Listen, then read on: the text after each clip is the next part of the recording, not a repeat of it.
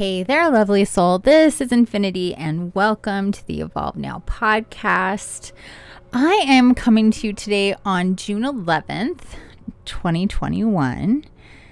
And I've seen so many ones today. I actually woke up really, really early, worked, went back to sleep, and woke up. Uh, and it was one of those like, oh, okay, cats and life. Like I was so deep. Then I heard, I, I just felt like, oh, it's kind of late. Should look, look at what time it is. Like, look at what time it is. I remember being very, very specifically guided to look at what, what time it was. So I don't even think I had my eyes open barely yet when I was already reaching for my phone. And it was 11 11 on the 11th. And I actually also posted about 11 11 yesterday or last night at like midnight. Uh, guided to put some information out about the 11s and just get that into the consciousness. And anyway, so today I've just been seeing so many, um, well, repeating numbers in general, but a lot of ones, a lot, a lot of ones. Okay, so here we are, uh, the day after the the new moon, and if you didn't yet do the new moon meditation, why not? What are you waiting for? no, I'm just kidding. But seriously, it was an awesome uh, meeting with the mermaids, and I've really felt that energy. And um, and then after I did the meditation and pulled the car- cards that I did, uh, time and tide and sanctuary. At three different times, the deck was sitting right next to me, and I kept opening up, like just like going like around half halfway to just cut the deck and see what card lit it was under there. And three times in a row I did that. Not like back to back to back but each time I did over the course of um however long I was sitting here during uh or before the meditation and then after so then uh, then it was like the uh, I, the fourth time I actually was like, okay, what card is this? Because I was making myself not fully look at it. I was just like, oh, that's the same card. Like, oh, that's the same card. And it just kept being the same card. And then finally, on the fourth time, I saw the card. And it is the return of Aphrodite, temple, birth of the goddess, guidance, goddess energy, treating as sacred. And it's a beautiful card. And what I'm going to do uh, is I'm going to take pictures. I'm going to do the same thing for Time and Tide, and I'm going to do it for these cards that I that I pulled. But I'm going to create a blog post on my website that you can go and check out the pictures. Um, you can also do a Google search for them as well. But I'm just going to have that for myself so those things tie in because when I do a podcast, I don't I I, I don't always um like sometimes I'll cha- I'll put it in the picture of the podcast, but sometimes I'm getting more than one oracle or tarot deck or tarot card and um and anyway, I'm just going to I'm going to do that. And okay, so then I was picking up the deck and I can't remember exactly how it happened, but I was picking up the deck like kind of I kind of had the two parts split because of the return of Aphrodite that card and and I was like trying to put the deck back together and this other card fell out. So the first card was card number 13, The Return of Aphrodite, and it's this beautiful um goddess. She's it's actually not a mermaid. She has legs. She's standing in the water. She has dolphins with her. She has a white dove and beautiful long blonde like dirty blonde hair um, and she's just absolutely beautiful. She has a key in her right hand that she's holding. She's looking off.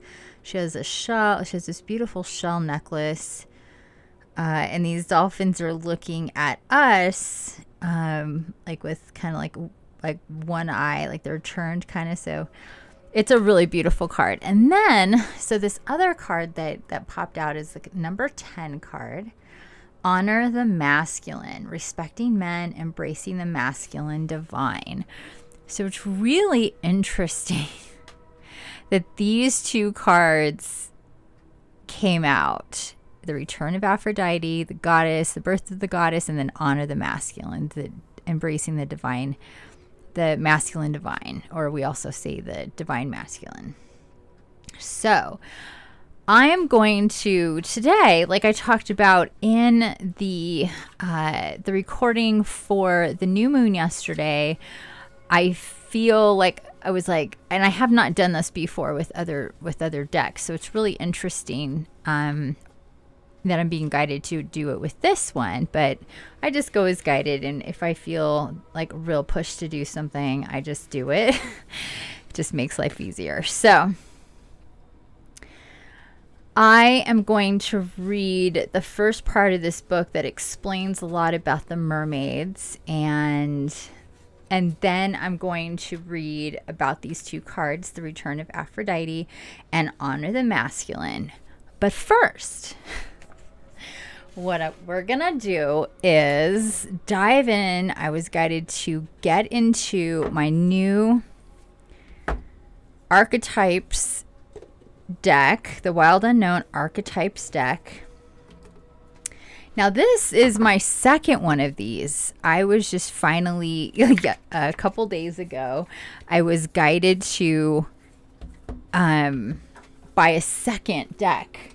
This is the first time I've ever been guided to buy two of the same deck for the only purpose that I really, I've had the deck for like two months or something like this, my first one and it and what the, like the one reading that's like the signature reading for the archetypes deck is picking from you know having the four piles of the different archetype sections the selves the places the tools and the initiations to have those separated and then um, you pick from you pick one of each, and this gives you a really good picture for readings um, for yourself and for others. And I do a lot of a lot of readings for other people, and I've had this deck for like two months or so or more, and I have yet to combine the deck because I really like it being separate. And so finally, the other day, I was just like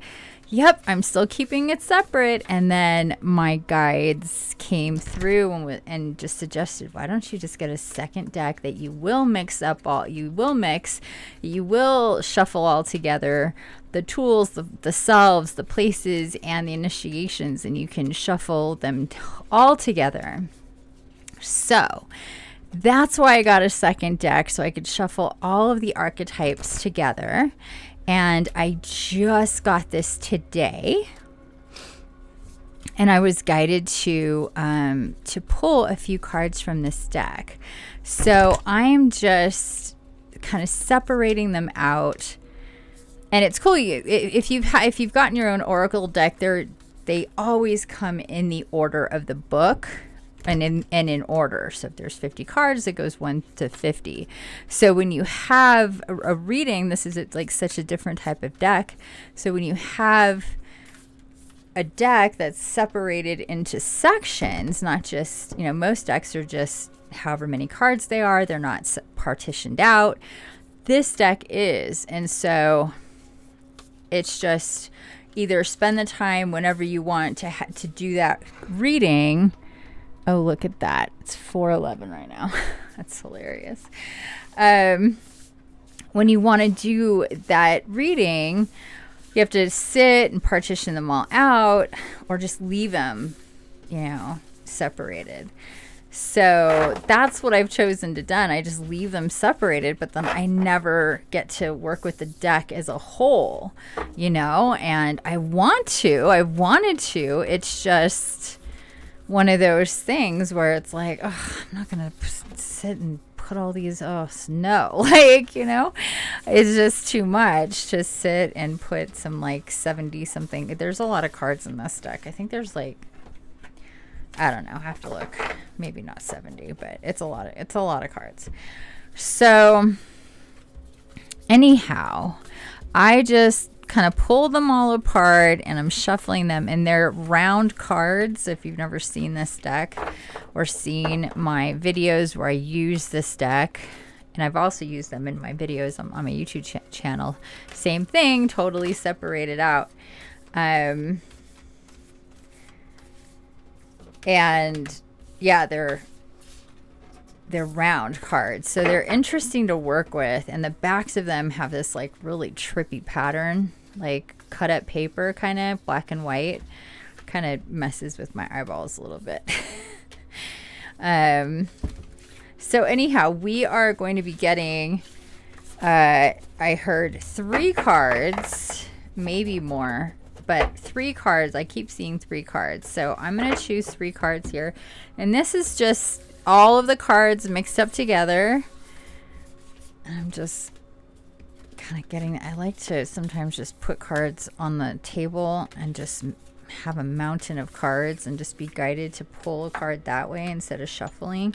And especially these cards are new, stiff, and round. It makes them really hard to shuffle in your hands. Just being honest here about it. So I'm going to get them back here on the table in a pile and then choose three cards. This also makes it easy instead of shuffling like more can pop, you're more controlled. You can just have your pile of cards on the table or the floor or your bed or whatever, whatever, wherever you're at, wherever it feels good and move them around, shuffle them around in a pile until you start feeling the urge like, oh, let's dig over here. Is it this card? Is that card? And just kind of dig around until you are nudged that that is the card.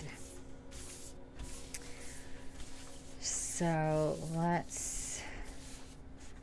or you'll also be like, you'll see a card, you'll move things around, you look at that card again, you move things around, there that card is again. it's like, or one will just naturally separate or very specifically separate itself from the rest. Or, or as you're moving them, flip over like this one just did. So there's definitely a pick.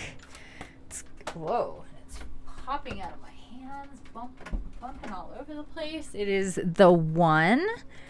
Card number 30, XXX. Card number 30, the one, and that is a self card.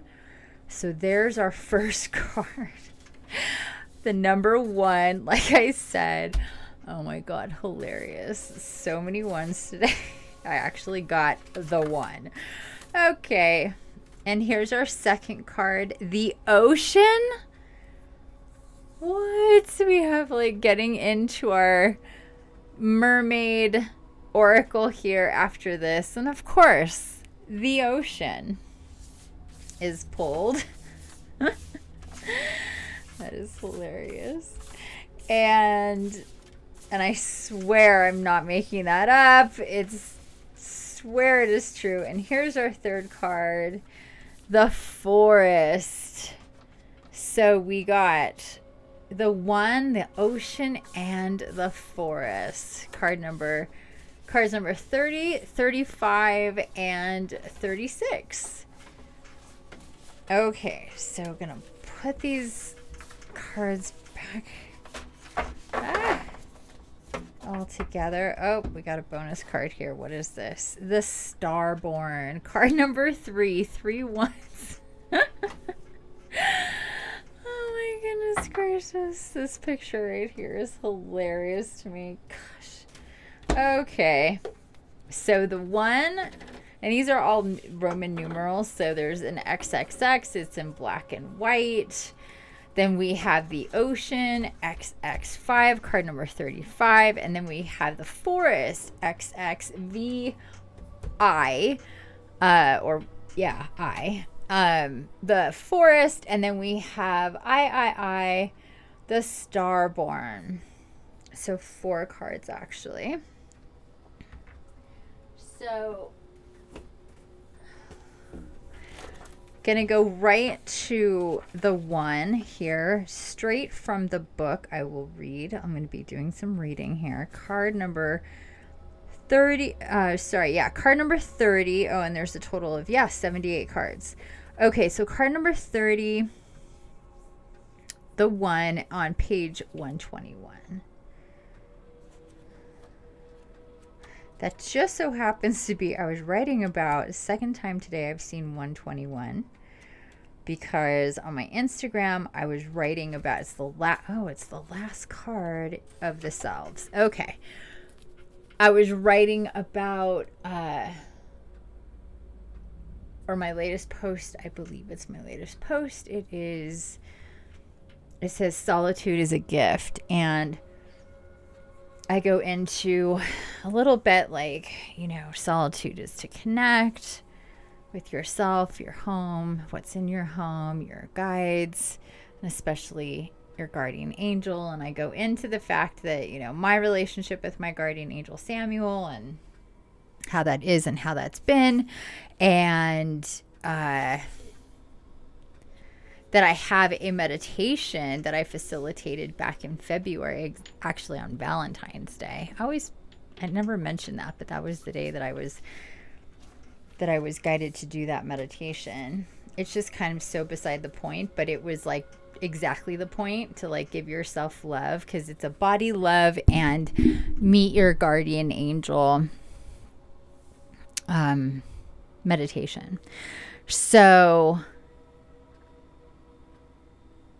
it's episode 121 and here we are with the one on page 121. So that's very interesting to me. Okay, here we go. The one, non duality, one love, unus mundus. Our ability to experience this archetype firsthand is limited. It comes in brief and potent moments that we are left to savor for a lifetime. The one is both the energy that unites all living beings and our capacity to sense this intimate union. This archetype eludes us most of our lives, appearing as a concept in a distant, distant galaxy. Yet, when we are in the midst of its power, a solemn reverence falls across all the land. We glimpse ourselves in the vastness of all consciousness and are neither small nor large within that field. We are neither important nor non important. All duality fades away, and we are left with what is the precious knowing that life is a gift, and we are both the giver and receiver of this fortune. Oh, I love that so much. When light serves, loves, accepts, resonates. When dark ignores, omits, excludes. My cat wants attention. Uh, and go deeper, James Turrell's The Color Inside, the poem Self Portrait by David Whyte. And it is said that Om is the primordial sound of the universe and that all other mantras are born from it. Simply imagine this possibility. Will simply imagining this possibility will activate the one. So just sitting and chanting Om. It's a very uh, comfortable tone and it's easy for you to like really bring in breath and and slowly let it go with that tone so you can really breathe out for a long time just in a oh like that like really long you can really get into that into that tone it feels really good okay the Unus mundus is a circle representing the unity of existence. It is possible that the beginning, oh, sorry, is it possible that the beginning and the end of all things is love? Definitely. so there it is. There is the one. Um, our ability to experience this archetype firsthand is limited. It comes in brief and potent moments that we are left to savor for a lifetime. That you're in it and you're out of it and you are it and it is you. Um, connectedness with the one. Uh, and that's also very reminiscent of what that number represents in angel angel numbers and numerology. It's that it's the beginning. It's it has it's powerful in its singularity. It is the the start, the beginning, the all in itself. Um, so from one, it duplicates to two, the one one, doubling everything that's so potent, potent and powerful with just the one. And that is what creates the three, the one, two, three. And and the those the one and the one duplicate to the three. Creation exists then and and so on and so forth. I'm not going to go more than that because I am told that we're going to jump to the Starborn card number three. So we go from card number 30 to card number three for the selves. The Starborn is after the mother and the father. So one and two, like I said, the beginning with the create the creators, the one and the two, and then you have the three, the starborn. The divine child, the star child, the destined.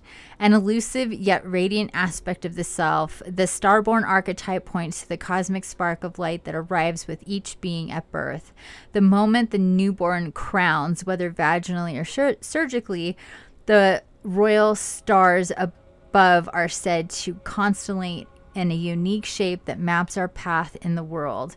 The idea of destiny is controversial, yet the starborn naturally feels a sense of destination and purpose, aiming itself towards a future that is beyond the mundane.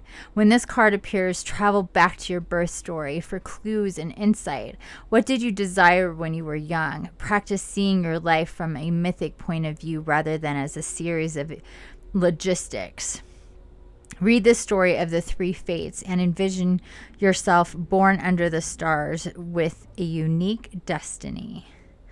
And when light, all right, trusting, vibrant, and aimed, and when dark, feeling of misalignment, loss of longing.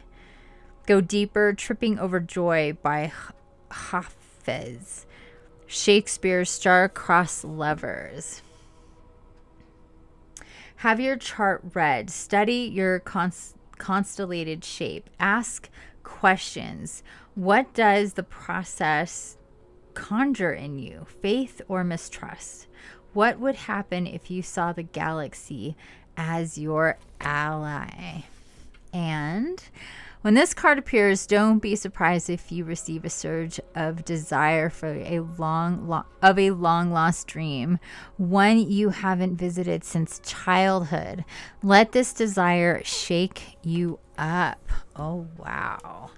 So, tapping back into that inner child from that perspective, being able to connect with and work from the soul, live from that, from that soul slash star um, point of view, that higher point of view, the starborn.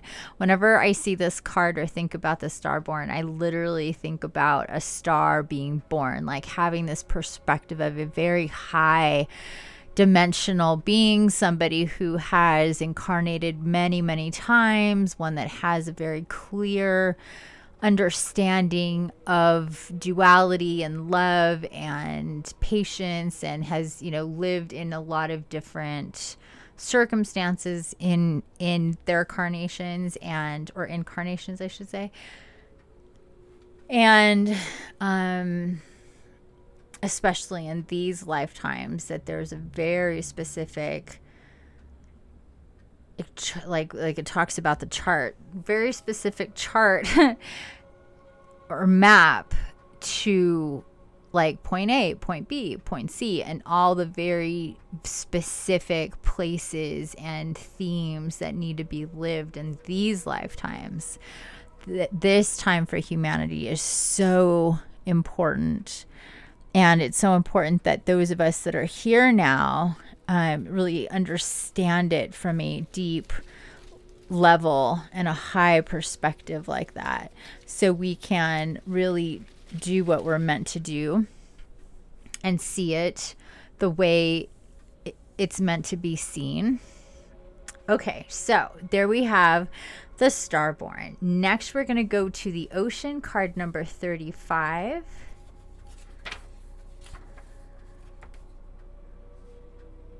Um, oh, there. The ocean, the unconscious, the depths, the incomprehensible. The power of the ocean is unmatched. To step into its salty waters is to step into the unknown. By its sheer volume, the ocean represents the unconscious, all that is beyond our understanding. We cannot live within the ocean. We cannot claim it, manage it, or own it. It rejects our every attempt to dominate nature. Yet, amid its overwhelming power, it calls to us, inspires us, and invigorates our life on land. It dissolves the little us into the big us when the energy of the ocean is present. There is change stirring that is beyond any change you've known before. The ego must dissolve. The saline swells work on your very cells, your fibers, your deepest underlying beliefs like Aphrodite. okay. Like Aphrodite, we rise from the ocean's froth, a new being. Life is change. Let the wave crash. Wow. So the ocean card, not only is it thematically on point because we're getting into the mermaids, we're going to read all about the mermaids here in a second from Lucy Cavendish in her oracle.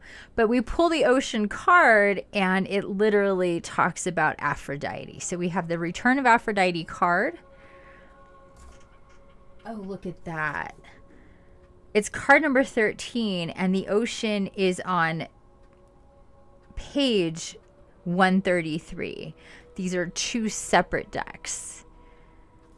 Okay. just taking inventory here.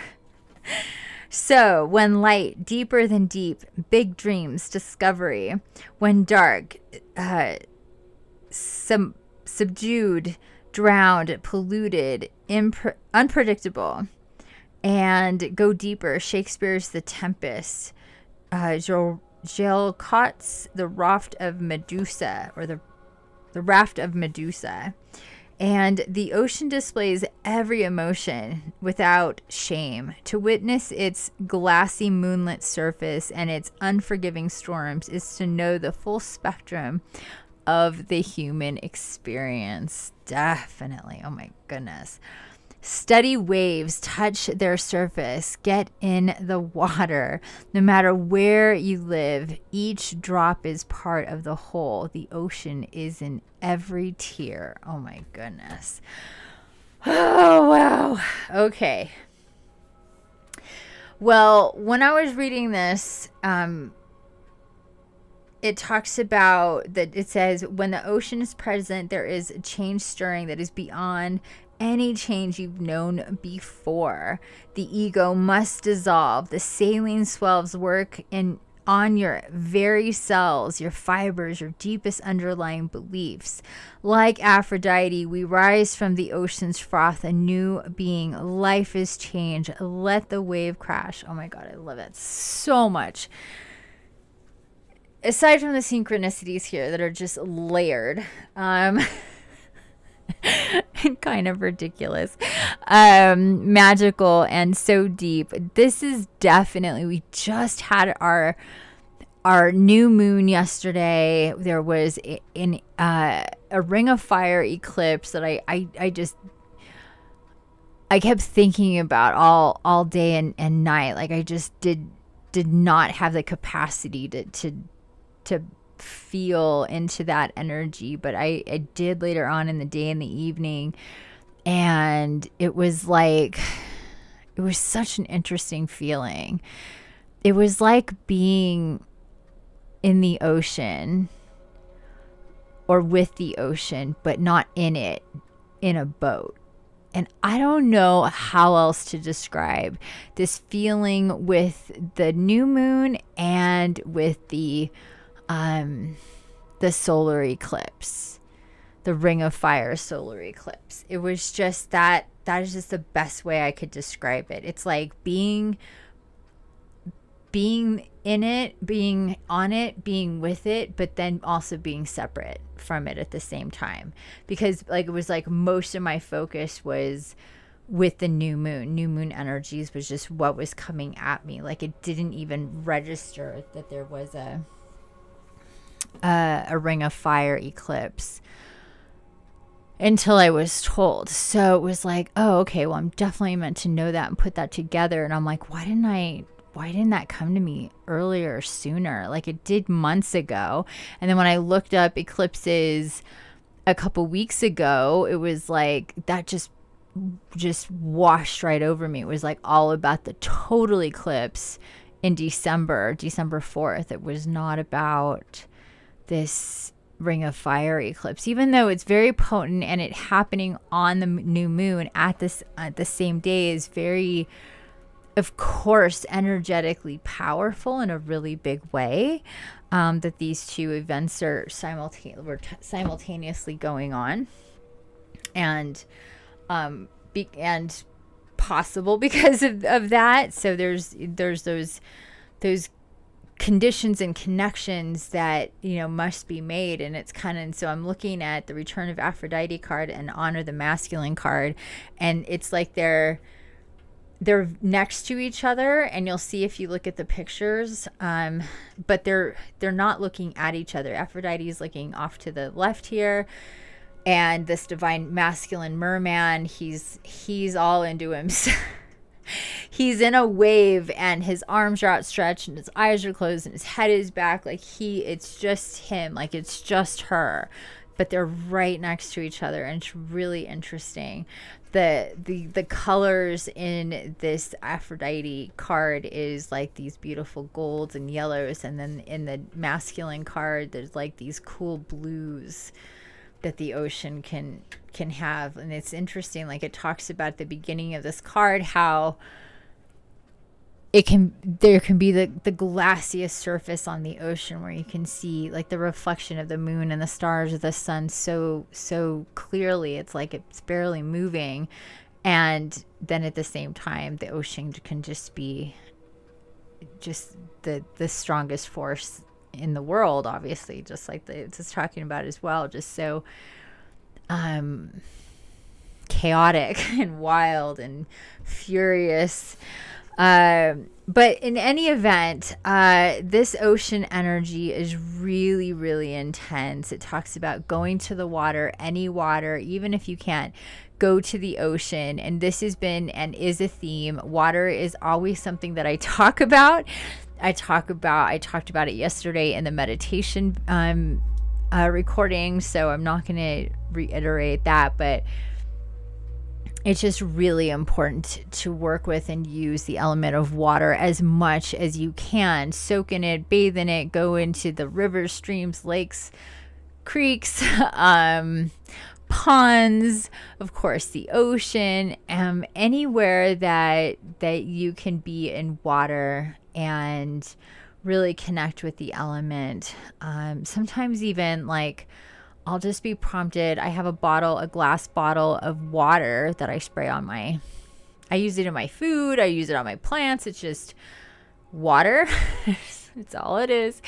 So it's like if I need a little bit of water in my in my cooking, I'll just use that. I'll spray my plants with it. I spray my I I keep a little um, instead of killing fruit flies, I have them contained and I spray water in their little habitat so they have water. I just use water all the time but i'll also be guided to just like spray it up into the air and just let it fall on me just like a mist you know and it'll just oh, feel so good. And again it's just water. There's nothing else in it and it's just the element of water sprayed into the into the atmosphere into the air the the element that takes up every little space that anything else doesn't is where air is. And just like in the middle of my kitchen just spray spray water up and just and and that is like the message here. It's like connecting with water. If it's tiny and minuscule like that or diving in the ocean both are relevant and necessary. Okay, next and last card before we get into the mermaid business is the forest. So, two, I think it's Oh, the very next card. That's right. It's 35 and 36. And that's not because they were like right next to each other. I had really pulled all the cards and had a mountain and swirled them all around. I don't know if the mic could pick all that up, but the way that that they came out um, being right next to each other, the ocean and then the forest, um, even though they weren't actually positioned next to each other is pretty interesting. So here we are now on pages 34 and 35, the forest. The woods, the thicket, the jungle. Consider for a moment your earliest memory of the forest. It's likely it included all the mythic dynamics of this archetypal space a little fear, a little enchantment, perhaps losing your way, perhaps discovering a secret mystical treasure. Such is the magic of the forest. It requires first that you enter it and then that you get lost within it. You may think there is a path to lead you straight through, but soon enough you'll be on what is known as the pathless path. There are tricksters here, dense foliage, and entanglement, but equally present are the glimmers of fairy light and friends among the trees. You're on an adventure now, and there's no turning back, so embrace the dim light and the moving shadows. Whether literal or imaginal, brave the forest and get lost getting found. Oh, I love that. Huh. Okay. So when light magic abounds, childlike wonder, adventure, when dark concealment, density, savagery go deeper, the opening three lines of Dante's Alighieri's Inferno. Dante's Inferno. First three lines of the story. And the hunter, the maiden, the crone, and this shaman make regular appearances in the forest. Don't be surprised if these cards come up together. Let the narrative reveal itself. And if you get out of the forest without feeling lost, you are only in a little grove of trees. The great archetypal forest requires we spend at least one night frightened for our lives. That's funny. Okay, so what I'm really picking up here with the forest is like again, it doesn't matter where you are to connect with this ocean energy, this big change, this, you know, being born again kind of kind of energy um and to let the magic of it to get lost in it so the same way and to this whole um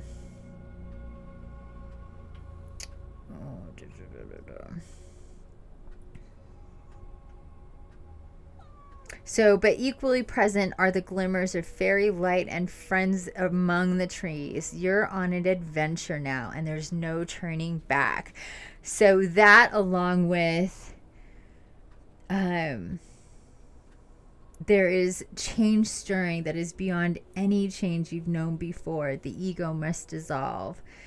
So, those two energies together, it's like a really awesome message for this the energy of the one and the starborn combined so these energies these these four together all coming all we put them all together the one the starborn the ocean and the forest um the one is being in it, being feeling that one, being part of that oneness.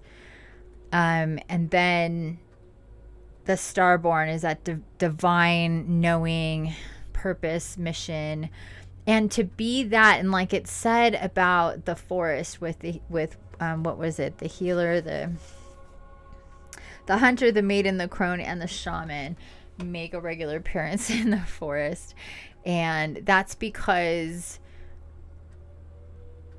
those archetypes have this innate understanding of change and having to keep going back and and revisiting and and re-examining and doing again kind of business. And and that there's like new a new layer coming. Something else to unravel. Um another yeah another peak kind of thing. Okay so there we go with the archetypal cards. Oh, excuse me. Uh for this reading the one the ocean the forest and the starborn really really interesting and i'm already super stoked that i was guided to get a second deck to be able to shuffle all together and this first one is really so amazing with this um, with the cards that came out with these two other cards that were already out the return of aphrodite and honor the masculine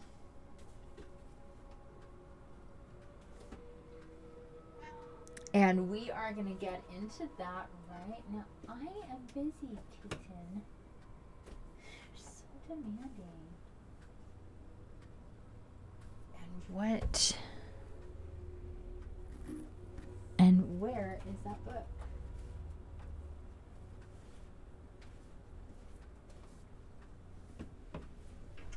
Seriously.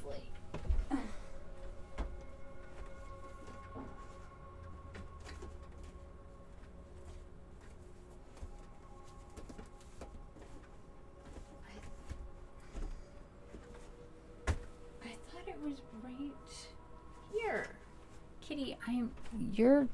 Seriously. Oh, there it is. Why in the heck is it all the way over there? Okay.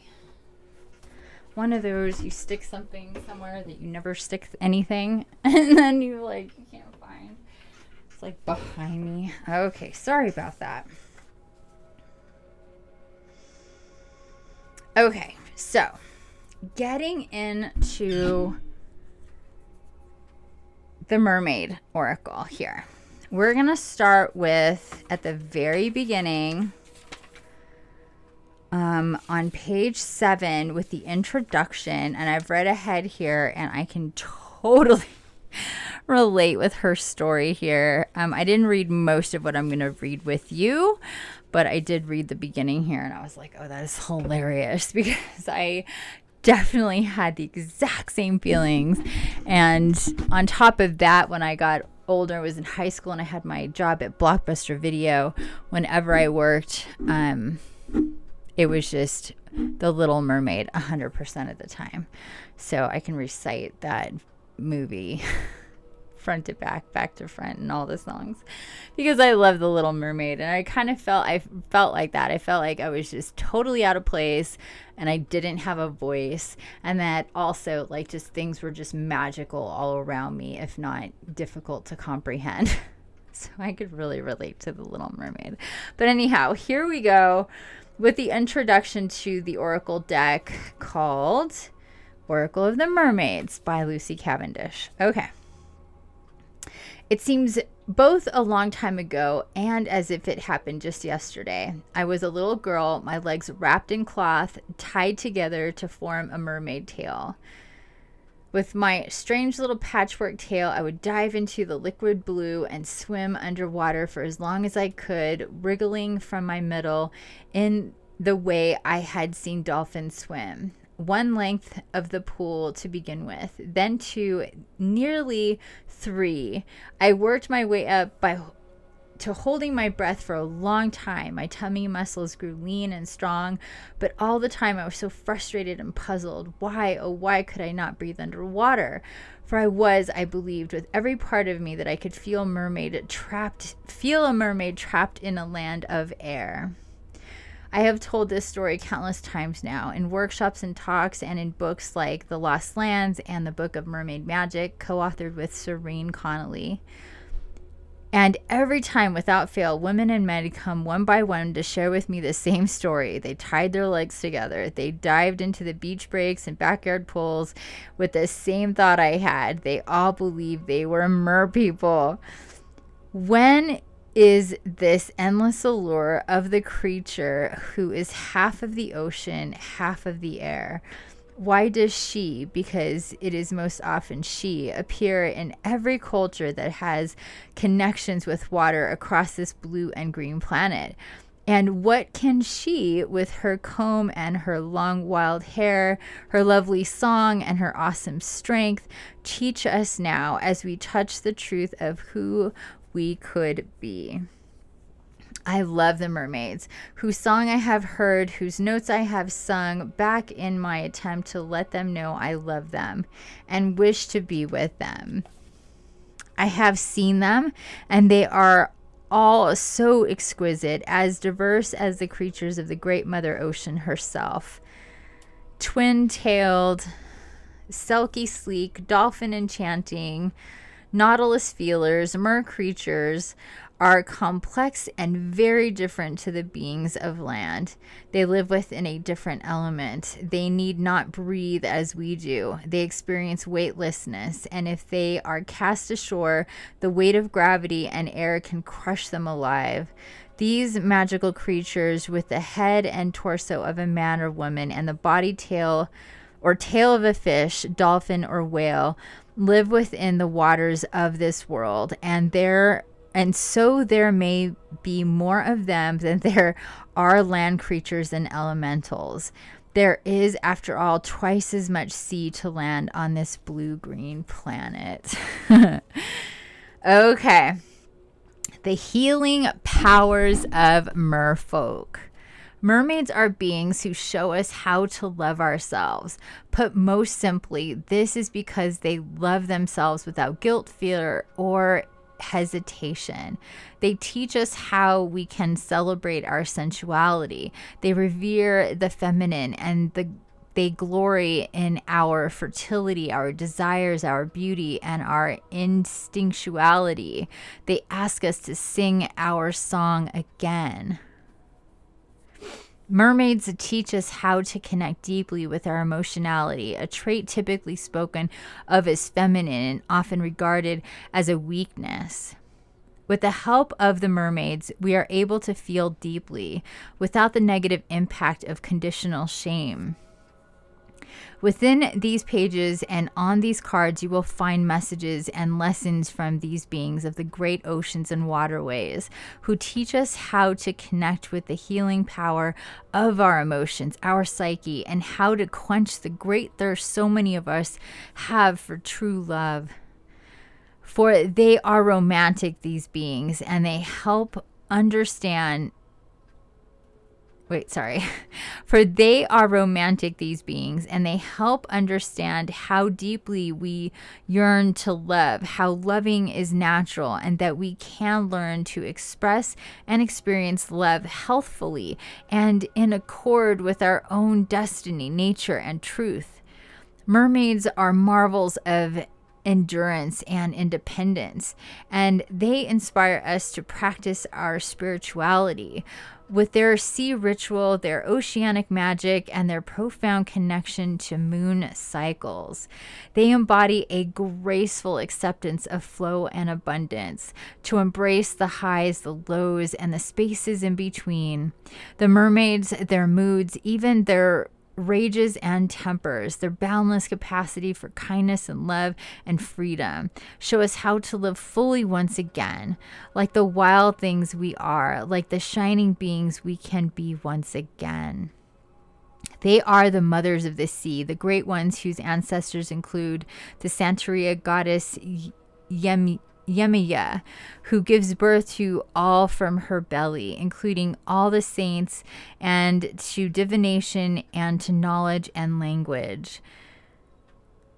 They are the merrow who release men from their soul cages to truly swim and be free in the watery element.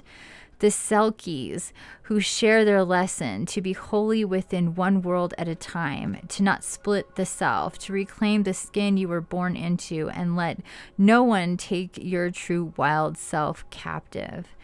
The mermaid can lead us sometimes down into the deepest of awareness. And while this is often a place where we have kept truths hidden from ourselves, it is worth visiting that underwater cave full of bones and remains of who we once were and once we once and what we once did in order to understand our own selves, in order to learn, not to repeat and to discover the goodness that lies within those events and circumstances.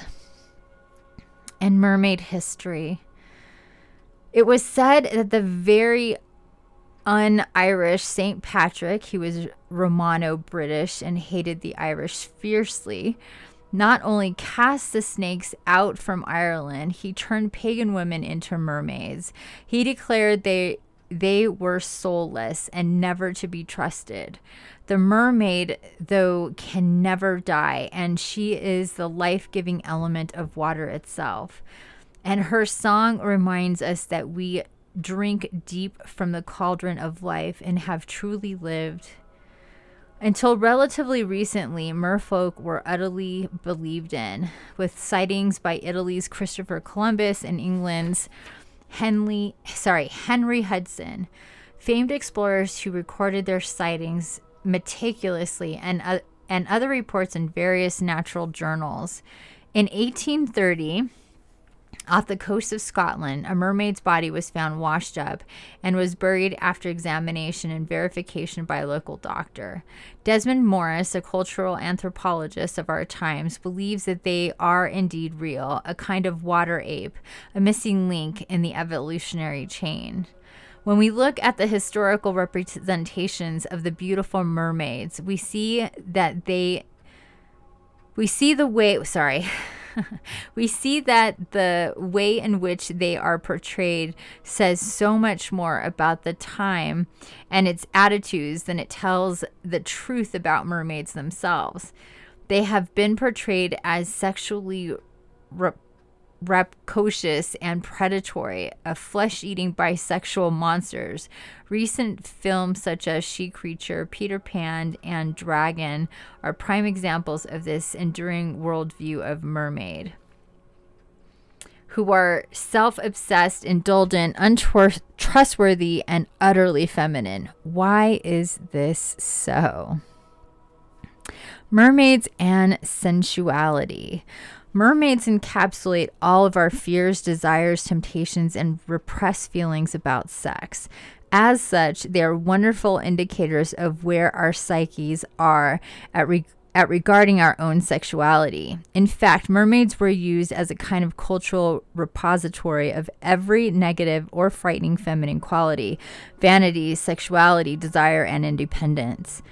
Even our smell and our taste were given descriptions through the mermaid. And in writing about them, the and witches, the church was able to express their fears of the feminine body, our ability to conceive, gestate another body, bleed, and love deeply, which were seen as being profoundly disturbing, suspect qualities.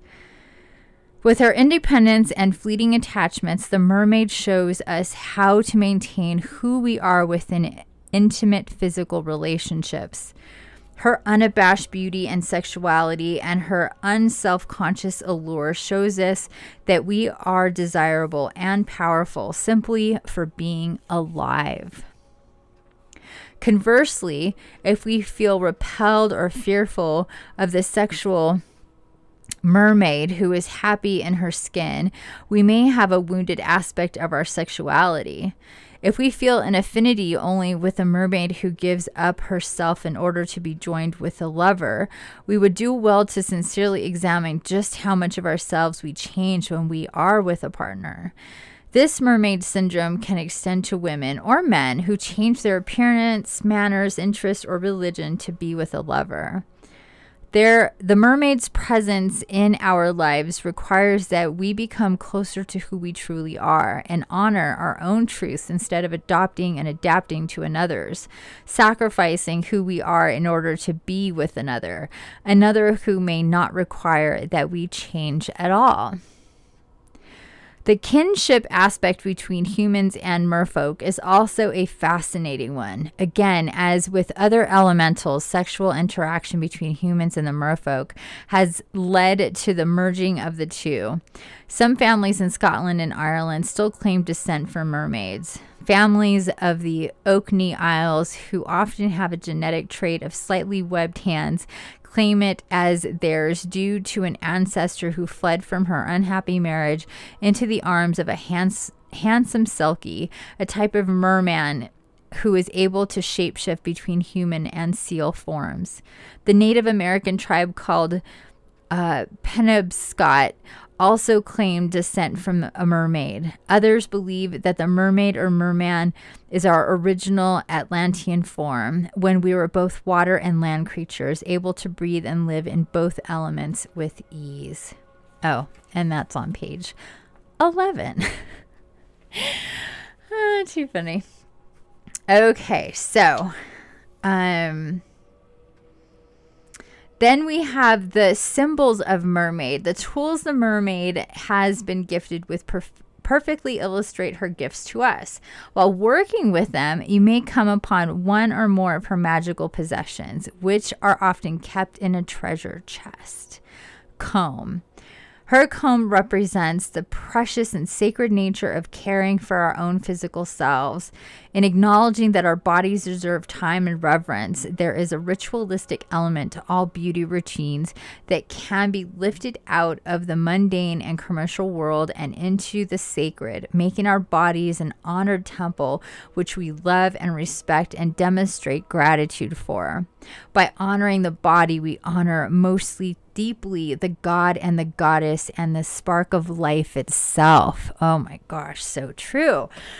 And that was another thing that I thought about today and I wrote about today, which is the body love and meet your guardian angel meditation that I facilitated back in February.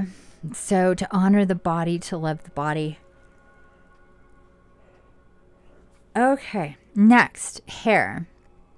The mermaid also suggests to us that we need to see the strength in fem- femininity and in being overtly female. Her long hair is an emblem of strength, her sexuality wondrously intoxicating and potent.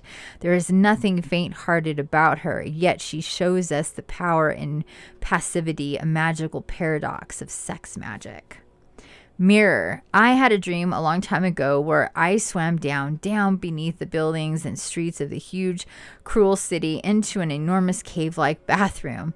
Once there, I joined a group of women staring into an enormous mirror that covered the wall.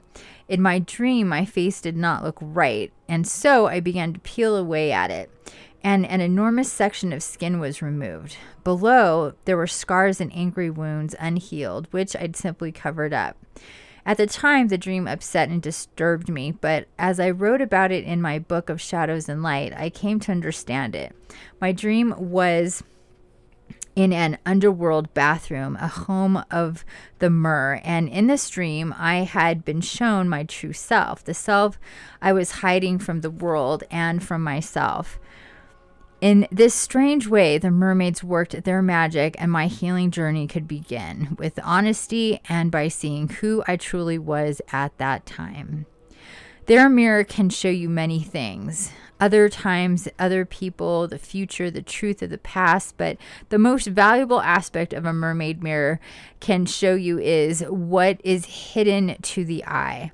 The mermaid's mirror is what we all gaze into when we work with these cards for divination, healing, manifestation, and to grow our self knowledge and self love. Cups. Cups symbolize the grail, filling up, being receptive, allowing others to give to you. They also represent the womb, fertility, matriarchal lines, cauldrons, the ocean, and bodies of waters like lakes. When reading with this deck, the mermaids strongly recommend you work with a simple chalice with water you have collected and blessed for the purpose of, of a reading. Tail. The kind of tail a mermaid possesses will tell you a great deal about what kind of creature she is, so look carefully. Her tail will give you many insights not only into the kind of mermaid you are working with, but the type of energy you have drawn to you.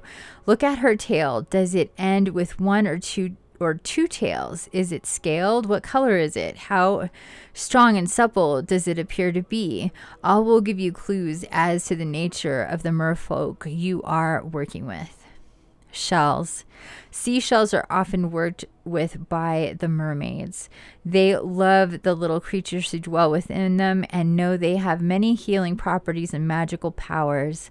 The creatures gift the mermaids their shells once they have passed from the physical world, and so you may see mermaids working with cowry for prosperity and fertility, or with scallops for beauty and femininity.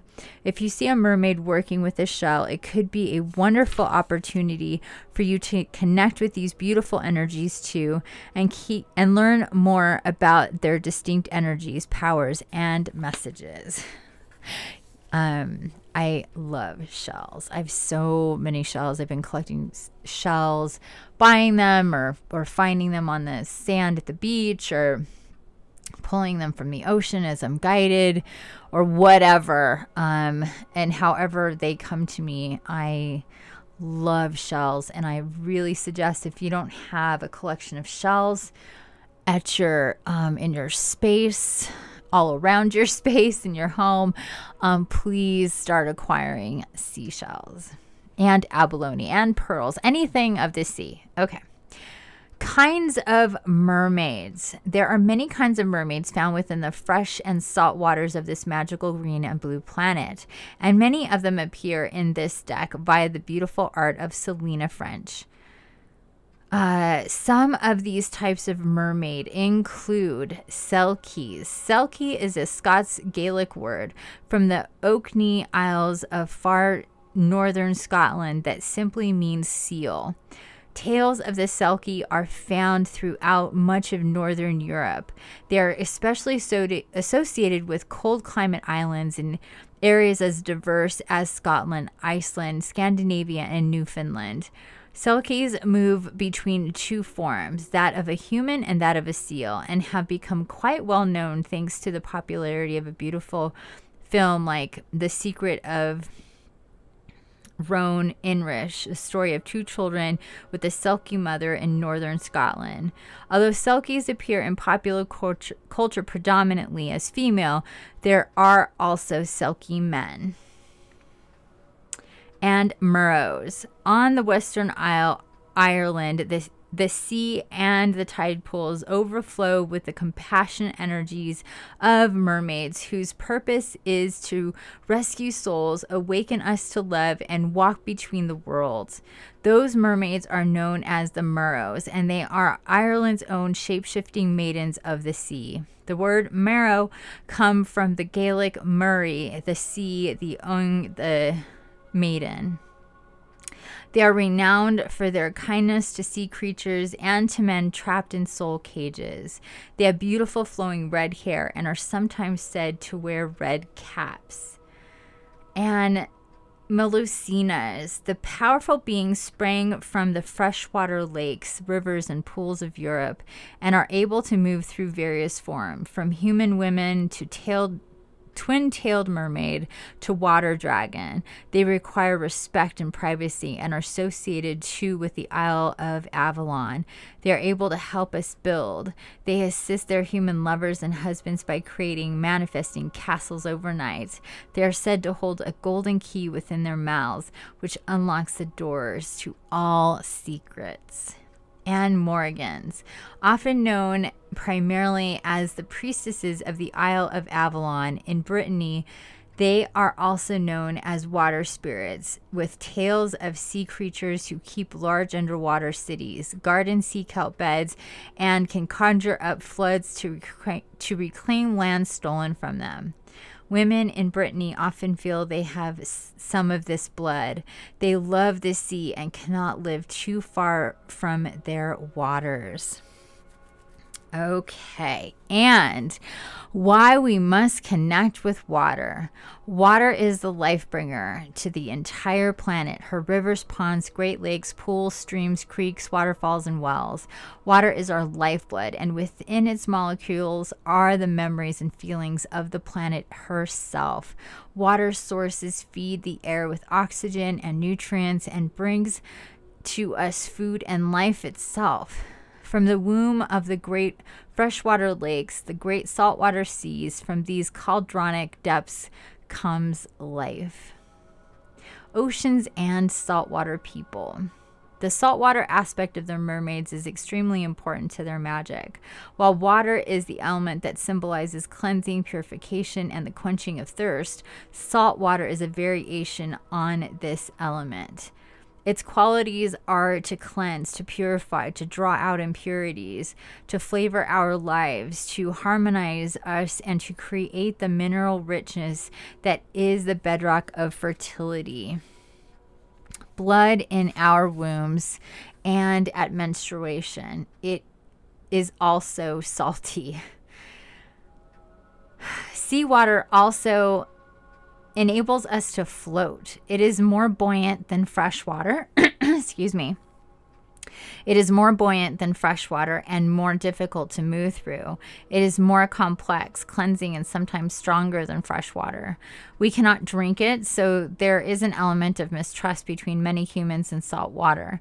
Although it sustains life of so many other creatures and offers us humans so very much in the form of nourishment, this complexity and lack of clarity does not make the mermaid's element deceptive, as some think. Rather, it makes us question what we assume to be true and to taste before we drink deeply. Water also represents the unconscious, our urges, desires, instincts, and psychic abilities. Salt water represents these abilities taken to a very high va- vibratory degree. Like the ocean or the movement of a great river, the surface of a dark lake between mountains, the mermaid has many moons and many forms. She is not always calm and peaceful or seductive and sensual. At times, she is stormy, unbridled, released, a wild creature, tem- temp- tempestuous, and raging. The force of the mermaid is so very powerful. You can feel her unleash your pent up potential and unbuckle the shackles that have led you back emo- that have held you back emotionally. I feel deeply that somehow connecting to the mermaid within is about darkness and light and great extremes and beauty. It is about nature and the depths of ourselves and the tranquil, still places we also inhabit.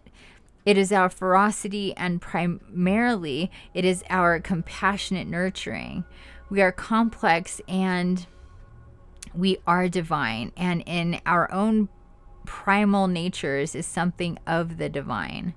Mermaids in our own primal selves are to be respected. People who see them as little creatures to be mocked, or women to be seduced, or seductresses to be feared, or sexual beings to be called harsh, derogatory names, are not only losing the part of the world the mer being that the mer being inhabits, they are losing a part of their own soul. The tides the moon helps cr- create are wise teachers for us humans. Are the tides not a profound lesson in the inevitable changing of all things, of all environments, sending us the message that there is an ebb and flow to all things, natural cycles that we too flow with? Tides and cycles can teach us so much. They are a study of how we must learn to shift our expectations each day. The tides are constant and yet they are ever changing. Nothing stays exactly the same at the seashore, but the tides get as close to a repeating cycle as is possible ev- once every 19 years. The time it takes the moon and the sun to do their complete cycle with each other. It is no coincidence that these 19 year cycles were the period of study for the Druids of the Sea Kingdoms of Cornwall, Brittany, the Isle of Man, Scotland, Ireland, and Wales. And mermaids and moon cycles. I went over this in the meditation video, but I'm going to go over it here too. One magical practice the mermaids will almost certainly encourage you with is connecting to the cycles of the moon. Here is a simple guide to moon phases, their timing, and their powers. Full moon, high tide of power, amplifying and creative. Waning moon, withdrawing, a sucking and pulling impact. Dark moon, a time to go within, uh, and soul scry, revelations from within at this time. New moon, a new moon cycle begins, time to begin your activation of intentions, and waxy moon. New growth, continued action, and results will come about. And I did tell you guys that yesterday, I actually is when I received this deck on the new moon.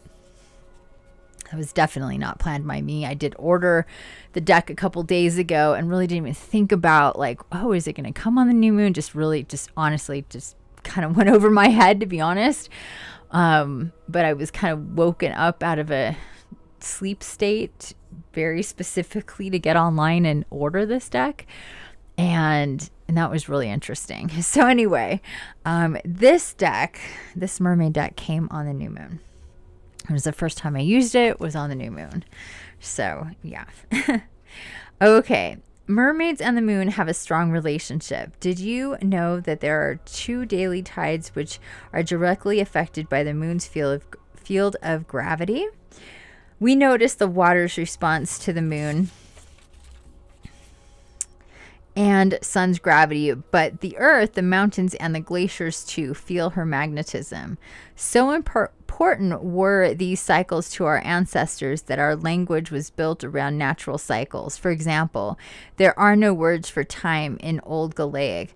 There are only words for wind, sea, weather, cycles, and moon changes. And the word tide is Scots Gaelic, Gaelic, Gaelic in origin. In most places, there is a delay between the phases of the moon and the effect on the tide.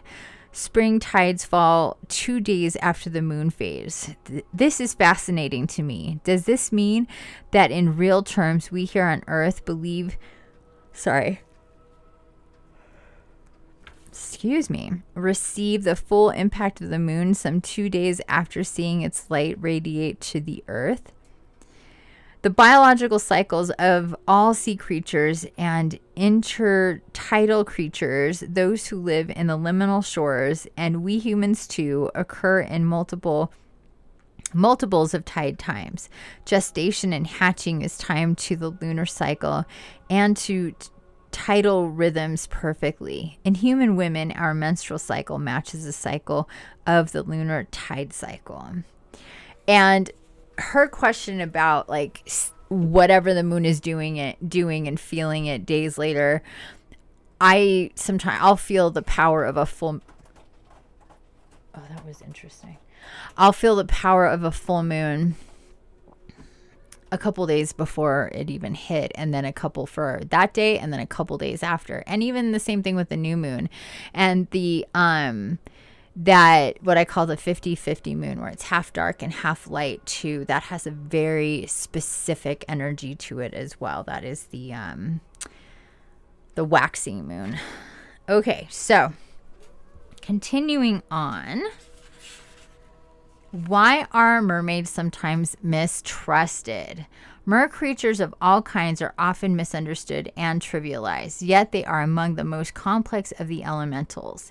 A magical creature with the head and torso of a man or woman and the body or tail of a fish or sea creature. They live primarily beneath the sea and are guardians and protectors of women's sexuality and are associated with play, delight, beauty, and sensuality. But they have many gifts that are powerful and strong, which are often overlooked and which will be explored deeply within this powerful deck. Among their many skills are the ability to predict storms and future events, and some can even grant wishes, and they can help us free ourselves from restrictive ideas, places, and people. They are great teachers of wisdom and knowledge, and they can also replenish our physical energy as well as refreshing and renewing our spirits. I need some tea.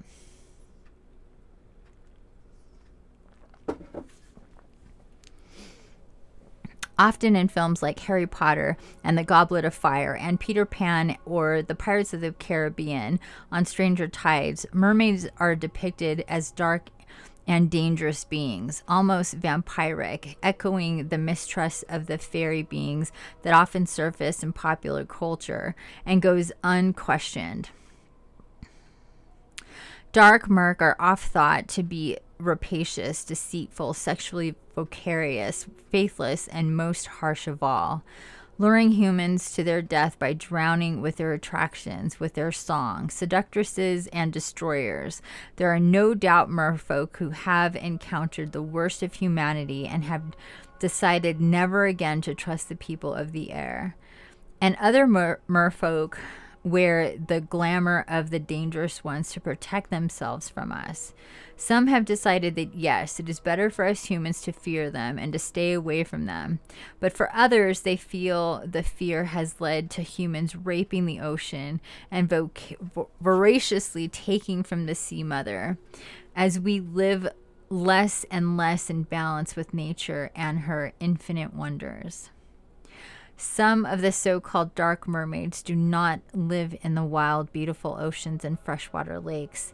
They have taken on the inevitable task of dwelling in sewers beneath the cities and water tables beneath the land, clearing polluted waterways in agricultural areas, rescuing dolphins and whales in seas where they are cruelly hunted. All the time, they are cleansing, clearing, and assisting so many best as they can.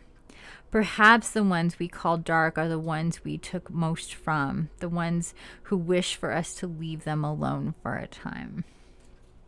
Oh, that makes me sad.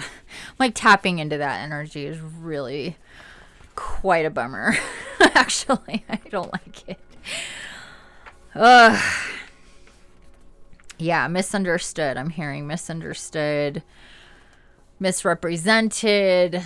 Um, fearful humans, that sort of thing.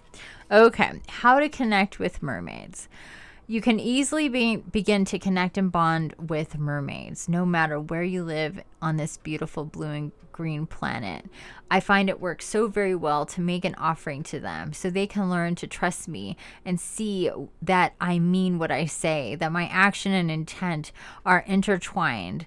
An offering can be of your time, your energy, and it can be made in many forms. I so encourage you to consider during doing this. An offering shows you are serious about creating a link between you and the being or the element you are offering your energy to. And this dedication will have its reward in future and further blessings and intimacy and in understanding. Gathering litter and human debris along the shore or anywhere near a body of water is a wonderful offering to the mer peoples. You may wish to take a bag with you to specifically collect litter and dispose of it through recycling and thought and thoughtful best ways. It is no chore, but a joy to do this. It lightens us and makes us feel happy to be a part of the clearing the solution. Do not be afraid of the sea, of the Great Lakes, of the deep, fast flowing rivers, but do respect them and know and learn of their ways. Ask the water and her mer beings for information. Watch, listen.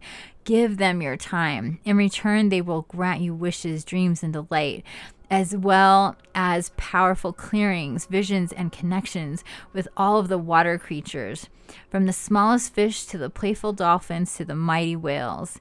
If you are nowhere near a body of water, you may wish to consider making an offering to an organization that works directly with clearing the seas of human hunters, like Sea Shepherds or local conservation groups. May all your interactions with the sea, with the waters, with the wells, and the shining lakes and their merfolk be blessed. okay. And we're almost done here. I think I've read everything I intended to read. Okay. Signs the mermaids are with you. You may hear the sound of water, a little like a seashell is being held to your ear, even though no seashells are near you. And I have to say, this has happened to me several times where all of a sudden I'll feel I'll hear rushing water. And I do have like right behind my place here a um a drain um because I live in the mountains. So when it snows and um and that starts to melt and you know we get a lot of rain that sort of thing I'll hear this cuz it's like a rushing river right in my backyard um but I'll hear that sometimes when the circumstances are not you know, that's not actually happening. So I'll be like, what is that? Like all of a sudden I'm hearing, so I'll go back there and then like I try to find it and I just can't find it, but I hear rushing water. It's like really, really strong. Okay, anyhow. Um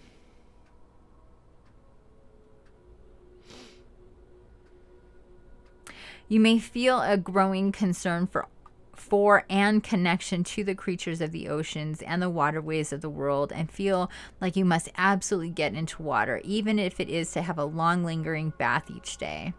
You may find yourself wearing colors of blues and greens, of coral and pearl, and find yourself singing snatches of songs without words from time to time. You could feel great love for others, have an urge to grow your hair very long, and have a growing interest in sensuality, dance, and sacred sex.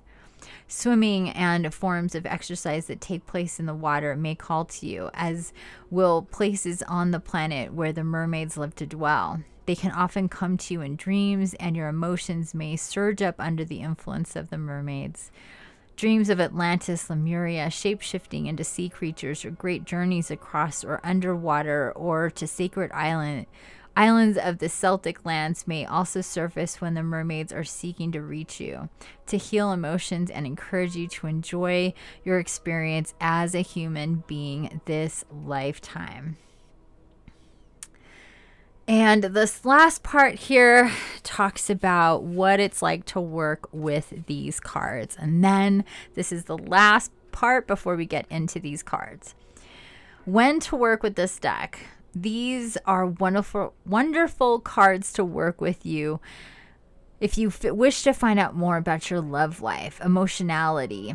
Emotionally, they connect easily and deeply and can see right through the situation with eyes that shine with compassion and hold up their magical mirror so you too can finally see the truth.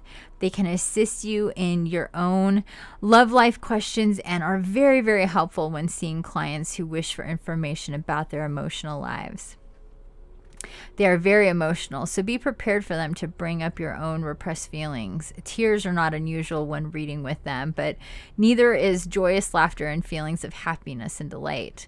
They will demand honesty of you, and for those of you that are that are those you're reading for, it's a little bit like there is nowhere to run and nowhere to hide.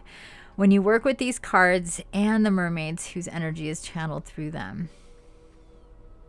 When you work with these cards, it may be very helpful to have a seashell or a simple chalice with water you have blessed present. Often we work with candles during readings, but the reflective surface that water forms will put the magical mirror of the mermaids right at the heart of your readings and bring about cleansing, quench the emotional thirst of people seeking help, and give you a feeling of joy and weightlessness and grace. More often than other decks, you will find these cards to be empathic, compassionate, emotive, and kind. They have been created with and charged by watery moonlit magic of the mermaid realms. They are true oracles. They see to the heart and deliver what must be known for you to understand your own emotions, your relationships, and your journey into true romance.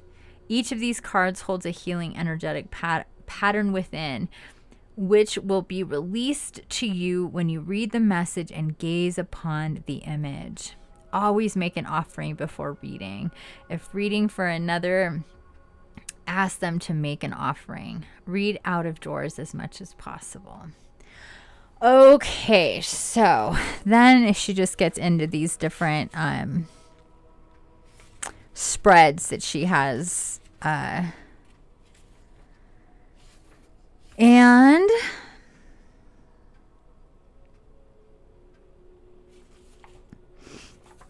we will get into the card messages first with the um, the return of Aphrodite card number 13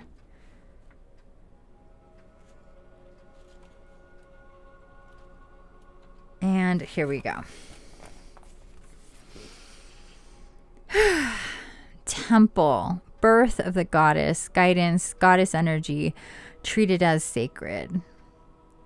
She has come back to us, piercing us all with her sweetness and beauty. So goes the Homeric hymn to Aphrodite, an ancient rhapsody recording encounters with this sea-born goddess who is friend to merfolk everywhere, and to you if you so wish it.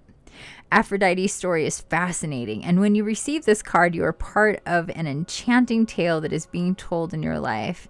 You may have always doubted your ability to attract, yet when this card comes to you, it is as if the graces, Aphrodite's handmaidens, are coming to greet you as you are rebirthed from the womb of the sea, and they adorn you with jewels and kisses, lavish you with pampering and you will at last begin to believe in the power of your own gracefulness, your own sacred powers, your own allure and magnetic appeal. Aphrodite is seaborn, as were you, of the womb of your mother, and when she comes to you, you are being reminded that it is possible possible to be sexual without being in partnership or formal marriage. She is returning to you to remind you of the beauty and grace of laughter, of delight, of seeing all that is before you as wondrous and perfect in its own right, delighting as she did in the variety of beings on the planet encouraging all to procreate, make love, sing, and revel in life. She is a sign of a return of, to sexual health, to healthy and glorious self love and self esteem, of a wish to be free for a time from marriage or conventional relationships, a time to explore, to delight, to be sensual, and to be free with no fear of retribution. And um, I'm going to read the reverse just because I like to give that perspective. So, the reverse meaning of this card an unrealistic desire to be the only object of love or attract- attraction in another's world, jealousy, and an inability to share, feeling that to do so is to lose respect and authority. There may be a great deal of disapproval around your choices as a sensual being, people attempting to tell you who to love, what to love, when to love, how to be in a relationship, and so on.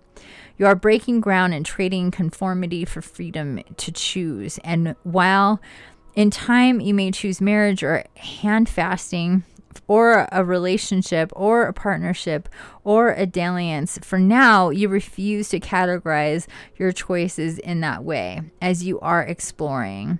This will at times bring great distrust, but remember, for many thousands of years and to this very day, we mermaids felt no pressure to be bound to one being only, unless, of course, we desired this. If you do not do not desire this, do not you do not need to marry, conform, wed, or obey. You are a being of grace and fragrance, and as you change, your relationships will too ask the goddess Aphrodite for help, and it will usually be offered from her soft white hands. Oh, how sweet. Yeah, you know, we we can change and shift our idea of what it is that we want in solitude or relationships or being sexual or not and all of that um, there is no need to conform to anybody else's idea of what we should be in regards to that. But but also to not reject our our innate nature at the same time Okay, and then divination. When Aphrodite comes to you from the sea, you are being reminded of your deep, delicious nature, the power of sensual desire, and the holiness of laughter and delight. There will be female friends who encourage you to remain free and to find out for yourself uh, what it is you want and who will praise you and assist you. It is time of being reborn into, into your sensual self and all that you are as a woman. Your yoni, your body, your breasts, your hips are all now greeted and claimed, reclaimed with love. You see that you do not walk sorry, you see that you do walk in beauty and that many have seen you coming from afar and have desired you. There is no sin in this. Aphrodite loved beauty too and knew how to share with other women, gifting her magic belt to Hera for a time to help her with her faithless husband Zeus, or sharing Adonis for half the year with youthful, irresistible Persephone. She is not the same as others. She does not wish to have and to hold. She wishes to experience, to love, to be filled again and again with all the beauty this world has to offer, but she never wishes for ownership. All is golden. Everybody is in love for a magical time because the goddess has returned. Oh my goodness, that is Whew, that is intense. I felt that in like all my chakras practically. Oh my goodness.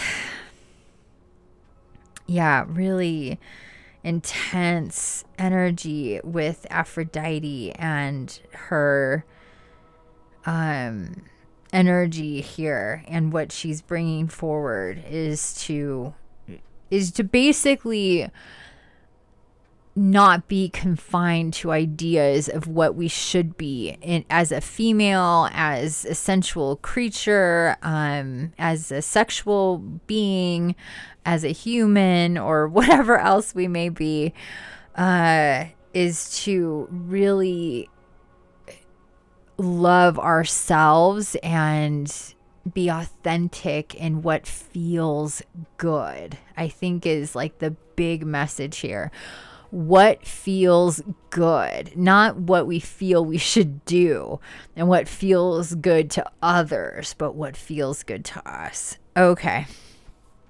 Awesome, awesome. Awesome messages there. Now let's go back a couple of pages to the number 10 card, Honor the Masculine. And again, I find it fascinating that these two cards came out together for my second reading with these cards. I'm already absolutely in love with them.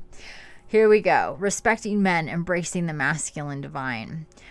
The mermaids sing For many of the men of this world, there is a sense of confusion, shame, and uncertainty about who they are meant to be. If they are masculine, powerful, dominant, and assertive, they run the risk of being seen and experienced as controlling and cruel. Many men feel that their sense of vulnerability and their emotional self has to be buried with an active self, a self who fixes, who knows what to do, who satisfies, and who makes sure all is well. The idea of masculinity has been corrupted and overtaken culturally, just as the concept of femininity femininity has been hurt too. And we have many wounded heroes, wounded goddesses, wounded gods in our world. This does none of us, male, female, heterosexual, every sexual, homosexual, any good at all. It is necessary for us all to reclaim the sacred aspects of masculinity, to recreate and encourage a healthy masculinity that is unique and, and encouraged, supported, and listened to.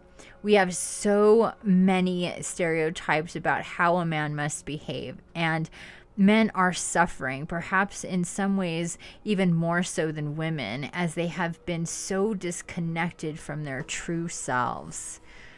And the reversed meaning with this card following a rigid code of masculinity, being unable to question the forms in which masculinity expresses itself, refusing to shift and experiment with how the self can be expressed through masculinity, equally judging men according to stereotypes and having equally rigid and inflexible ideas about how a man must behave, perform, and express himself.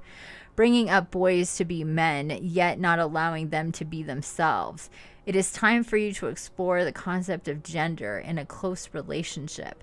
Your notion of men, your experience of them, has been shaped in ways that are not as helpful as they could be. It is time to stop blaming men and start encouraging men to become the heroic, sacred beings they are born to be. They were born with immense potential. The shape they have taken is not the shape of their soul. It is not necessary for you to cope or deal with abusive patterns, but it is important to know a person is acting out a stereotype, not their true soul essence as expressed through their masculinity rejection of the God, rejection of the possibility of the value of masculine force. Oh boy, this is a very, very heavy card, actually. And divination. When this card comes to speak to you, if you are a man, it is time to understand, embrace, and truly honor the expression expression of your masculinity. Think back to your childhood and youth before you were told who you are, what it is to be a man by your culture and by your family, and through your schooling and relationships. Who are you? Consider the possibility that your own masculinity has been constructed to protect you. Perhaps some aspects of what you have been taught have created sadness, shame, and may even have ensured you missed out on a full and authentic experience as a man so far. Men are sensitive, men are sacred, men are gods, and the powerful insight of the merfolk can show you how to go deeply into the way your gender has shaped your destiny this lifetime. The merfolk encourage you to reshape it into a form that expresses who you truly are, not what you were taught to be. And that is the end of this um this uh cards information here and i wish that she would she says if you are a man and so she goes in this whole thing about if you are a man but she stops there she doesn't go into if but if you are a woman and you ha- see this in your you get this card or whatever but same thing here. If you are a woman, um, this honor the masculine, honor the masculine, the divine masculine. We but we have both, no matter who we are and what gender we are born um, we have the feminine and the masculine. And I do like what she says here about how the men are hurting, and maybe even more so than the women at this time because they've been so pulled from themselves. It's like, what are they? And they're just trying to figure it out. And in my in my coaching with with men, there is a sense of confusion and um, especially about sexuality and, and how they are supposed to feel, what they're supposed to do, what is okay, what isn't okay. Just a lot of confusion there. And it's interesting, it doesn't happen with females, but it does happen with males where they get kind of imprinted with a certain type of of um, attraction to things uh, when like those things first happen when they're young. And they tend to to stay in that lane um, and that is what will always like push their buttons sexually or crave affection. But usually it's it's sexual or or um intimate in nature but a lot of times because it comes from them and when they're young and because our society wants to wants to just take children and make them men without letting them develop it confuses their their progress their evolution their growth. And then it's and then it can it, the pendulum can swing really hard into um not being balanced with any feminine or really tapped into the feminine aspects of themselves, but seeking it in like hunting of women. And what I mean by that is always needing, you know, the conquest and sex and being sexually driven instead of instead of intimately or the the desire to connect intimately. So this is just, I think, part of it. But as female, if you're a, a woman, um, and if it doesn't matter if it's about you know relation any type of relationship um, if you ha- whatever men you have in your life whether they're um, friends or family or lovers or spouses or whatever to really try to send the the men in your life um healing vibes of of balanced energy with their masculinity and that they can tap in with their with their feminine sides and and allow those waters to blend together and and that we hold space for them to do that. And we let go of anger of of um of the sadness of being repressed by men uh, of the indiscretions brought upon women by men of being used by men. Still to this day, this is going on. And of course, you know, we get into, you know, the idea and the understanding of sex trafficking and all of that, but that's not only, you know, men against women. we need to understand that as well. But, but we will shift the way that we see ourselves and see each other with the, with these energies. And again, it's just very interesting to me that these cards came out together. The the return of Aphrodite and honor the masculine. It's it's about again feeling good and honoring that masculine energy and putting these the, all of these energies together. So I hope that these messages have permeated your waters, that you're letting them sink down, that you're feeling this. You know, if you need to go back and listen again, um, sometimes I need to go back and read again or listen again and really just see what comes up for you with these two cards and this overall message that we got with the archetypes and these cards. Again, it just feels like we are with the energy that I'm getting here with Aphrodite and honor the masculine is this reshaping of how we feel with the divine masculine, the divine feminine, how we feel about love, relationships the fluid nature of sexuality, um, what is okay, what is not okay, and in this day and age of everything being out there and and there really isn't a whole lot held back in certain ways and things you know it's just a very interesting time. It's so different from even 10 15 20 years ago and in a lot of ways, this is good because barriers are being taken down, but at the same time, it's like, you know, letting the dam be complete, you know, opening up the dam completely and everything rushing out.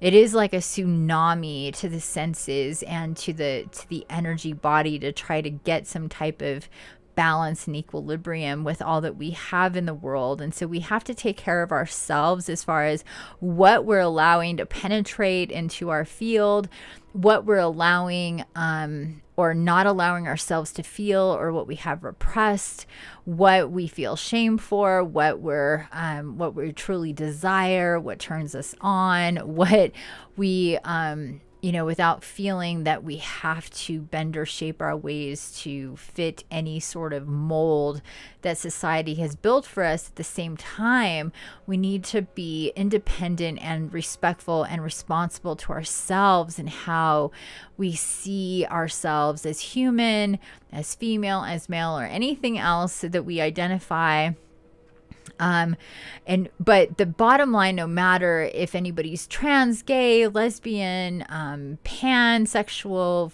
um, binary, whatever, um, there is the divine masculine, divine feminine in every body, and the best. Uh,